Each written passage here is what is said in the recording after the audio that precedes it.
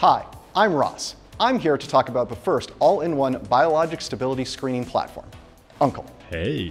UNCLE combines three different detection modes, full spectrum fluorescence, static light scattering, or SLS, and dynamic light scattering, or DLS, to give you all the stability and aggregation data you need using only 9 microliters of sample.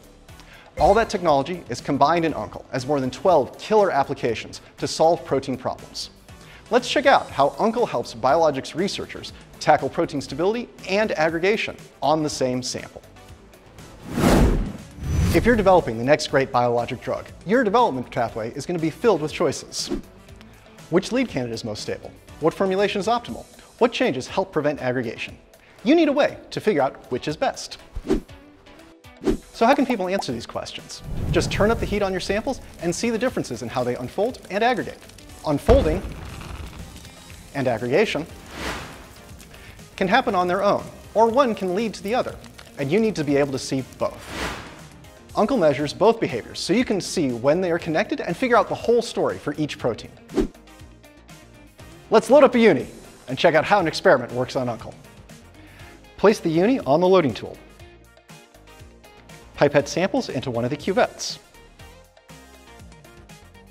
Clip the uni into a blue frame prepped with silicone gaskets to keep it sealed from evaporation. Here you go. Thanks. Now that the Uni's all loaded, let's step into UNCLE's software so you can see how easy it is to set up an experiment. From UNCLE's applications menu, we select the TM Tagg with DLS application. First, we pick a project folder and name our experiment. Next, we tell UNCLE what samples we're running. We can choose an existing sample set populate a new sample set manually, or we can simply import and pull in all the information from an Excel file. If we select an existing list, we then tell UNCLE where each sample is in our unis. With that done, the last major step is designing our thermal ramp. With the setup shown, UNCLE will also gather DLS information before and after the run to quickly check sample quality before run or to orthogonally confirm aggregation after one. And we're ready to hit the Load Samples button. UNCLE uses a Peltier thermoelectric surface to heat up samples. That's our copper-colored plate. Here. Unis magnetically snap into the UNCLE. With space for up to three unis at a time, UNCLE can run from 1 to 48 samples in an experiment.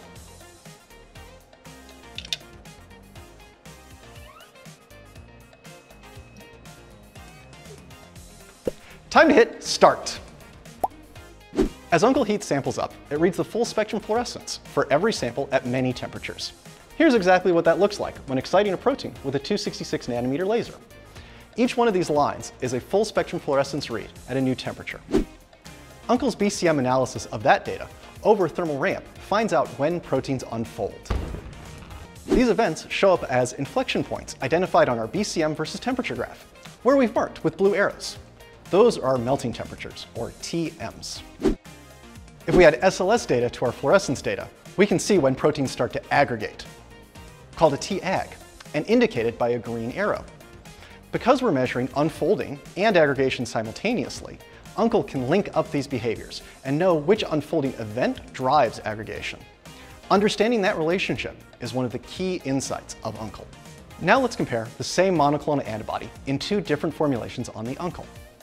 As temperature heats up, the green antibody has its first melting temperature, followed by the blue antibody. Then we hit a second melting temperature for the green antibody, and aggregation also gets out of hand. Blue's second melting temp is later, and isn't paired with significant aggregation. With this data combined, we can crown the blue antibody the winner. Its unfolding events occur at higher temperatures, and aggregation isn't a problem. That's a look at how to solve protein stability problems with UNCLE. Please reach out if you're interested in learning more, or are interested in a demo. Thanks for tackling science with me. Time to go fight aggregation.